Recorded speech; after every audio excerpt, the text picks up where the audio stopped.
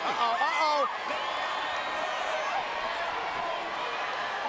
Look at this. She calls this the PTO, the Paige tap out. Cameron's gonna have no choice. Oh, I'm not going to be Taps out. tapping.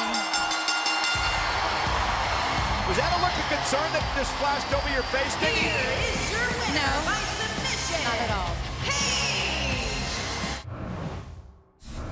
Coming up Sunday at WWE Fastlane, Nikki, you defend the Divas Championship against Paige. Paige picking up some more momentum tonight, despite the tactics that you and your sister have used. Are you wor- worried about that at all?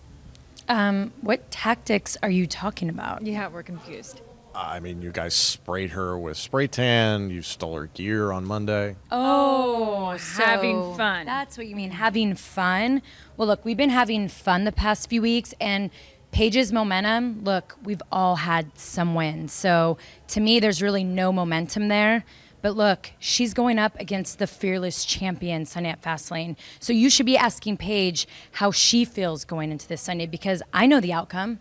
I'm going to still be your Divas champion. That's right, Nikki. Hey, where'd your sunglasses go? How did I lose my glasses? How did you lose your glasses? How did I lose my glasses? How did I lose my glasses? How did I lose my glasses? How did I lose my glasses? Congratulations, you managed to sit through an entire video without any disruptions. But I'm afraid I've got some bad news. You haven't decided what to watch next. If you want to see some more videos like the one you just saw, click here. If you'd like to see me delivering bad news to the entire WWE universe, click right here. Finally, for some good news, you can be the first to find out every time I show up on YouTube. Just click right here.